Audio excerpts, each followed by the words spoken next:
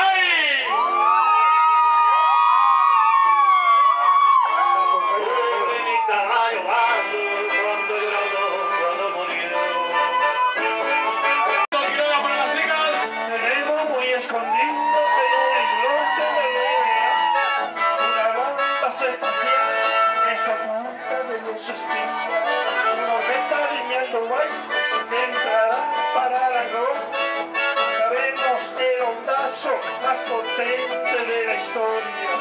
Con una gomera grandota Tirada por si comuna En una pelota de cuero Mandaremos los gauchos a la luna Un nicho crescencio de guerra Y el grupo de candoroso laguna el revuelo de poncho y de la pelota de cuero va llegando a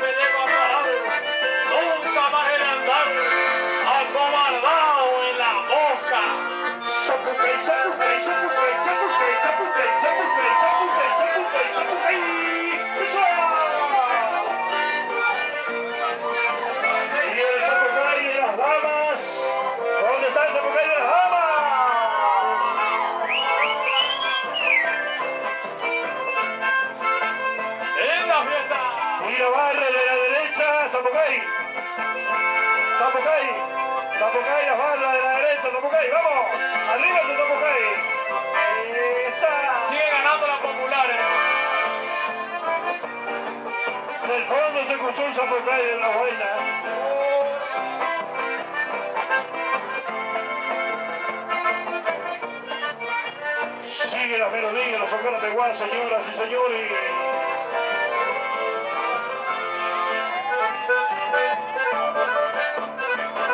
Y seguimos cantando. ¿Qué les cantamos? Canta el príncipe.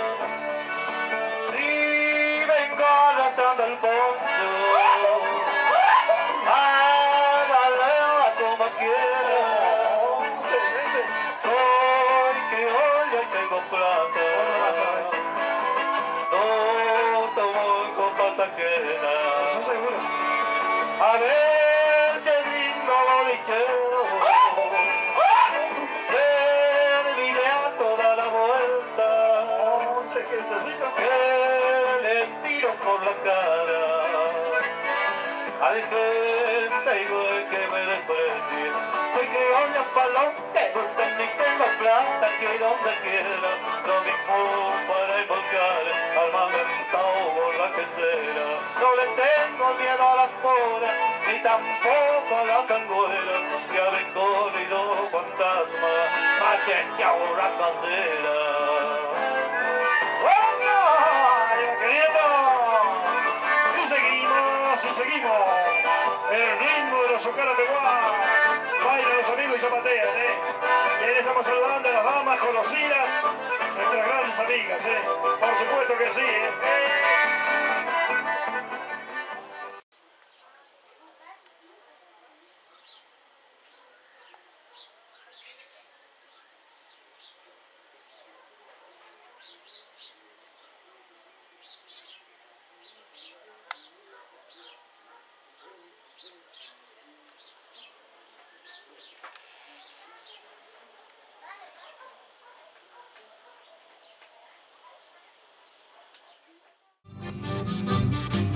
Este acontecimiento ocurrió en el siglo pasado entre los años 1840 y 1870, fecha cada vez más difícil precisar en lo que fuera la Villa de Mercedes, provincia de Corrientes, República Argentina. Cuando las luchas intestinas desangraron y dividieron al país y a la provincia entre unitarios y federales, entre azules y colorados, por cuestiones principistas o más por ambicionar el poder.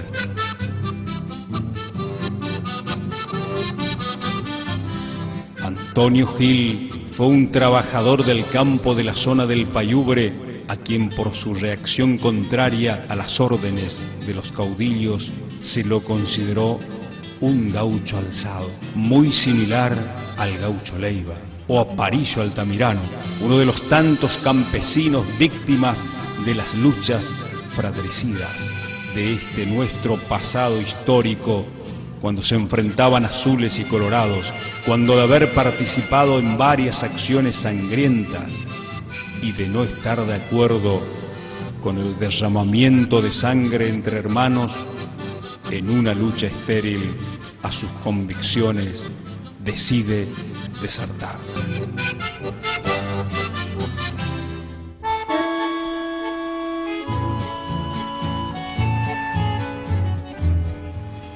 Según se cuenta, una noche muy serena, sumida en lo más profundo de su sueño, se le apareció Ñandechara, Dios guaraní, ordenándole no pelear más, no derramar sangre de hermanos inocentes, por eso su decisión de abandonar las filas para las cuales había sido reclutado sin su consentimiento y sin posibilidad de negarse a las obligaciones que le imponían.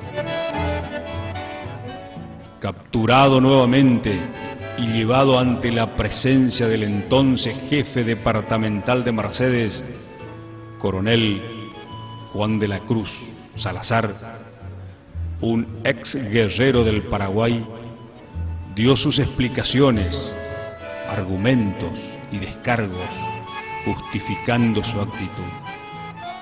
Habiéndolo escuchado el coronel Salazar, no creyó en su descargo y con firmeza lo trató de hasta cobarde. Muy severo en sus decisiones, le reprochó su acción, que consideraba un mal ejemplo para su tropa y que sería rigurosamente castigado y de esa manera cruelmente se procedió.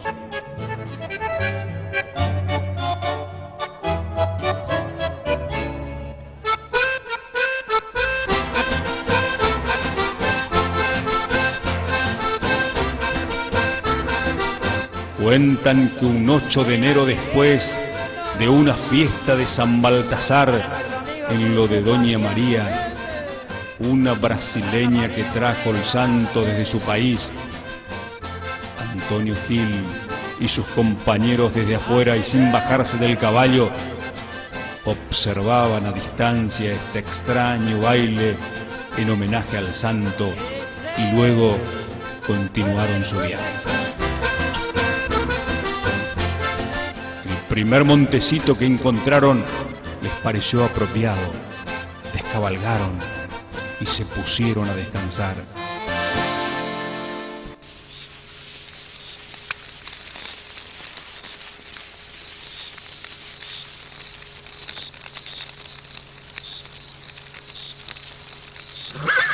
Encontrándose semidormidos, la patrulla de milicos los localizaron lo sorprendieron y lo detuvieron.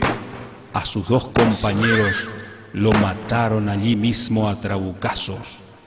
Y a Gil, por gaucho alzado y desertor, lo llevaron preso. Deciden luego llevarlo a Goya para que sea juzgado, pero en ese interín su fiel amigo, el coronel Velázquez, otro bravo correntino y también ex guerrero del Paraguay, quien mucho quería Antonio Gil, le dice al coronel Salazar ¿por qué lo mandaste preso a Gil? Y éste le responde, el reo no ha cumplido con su deber y cabe el castigo. No alegar, che coronel, exclamó Velázquez. Alegar era una de las pocas palabras en castellano que sabía decir el coronel guaraní y con ella quería decir que en la emergencia no correspondía el frío razonamiento de la ley, sino el razonamiento que surge de lo profundo del sentimiento dictado por la intuición que da la sangre. Salazar tenía un gran respeto por Velázquez y al ver su firme actitud de desagrado por la medida que perjudicaba a su amigo Antonio Gil, quiso complacerlo y le propuso, traeme 20 firmas de los principales de la zona y le pondré en libertad a tu amigo. Velázquez, enfrentando a su jefe, le dijo, acá están las 20 firmas, ahora espero que cumplas con tu palabra. Salazar cumplió. Mandó un propio Mercedes ordenando la libertad de Gil, pero fue tarde.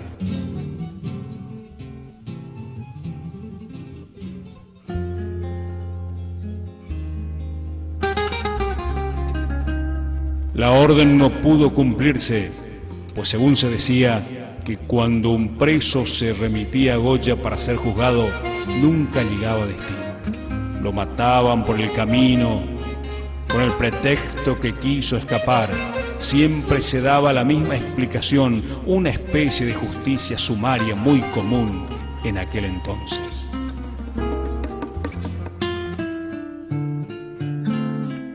Cuando lo llevaban a Gil, la partida policial lo obliga a descender. Lo maniataron y colgaron en un espinillo y un indio de la partida policial lo degolló.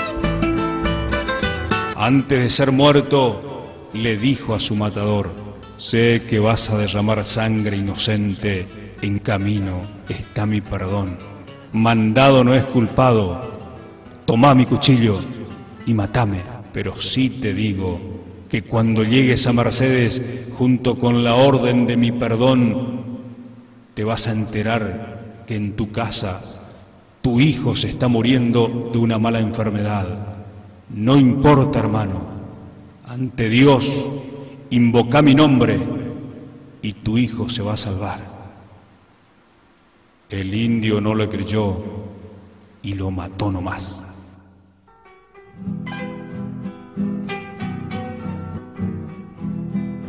Cuando regresa la partida policial se confirmó lo dicho por Gil. El indio encontró a su hijo moribundo y desesperado lo invocó a Gil para que salvara la vida de su hijo. Al día siguiente el niño estaba curado. Arrepentido le fabricó una cruz de Ñandubay y al hombro y a pie.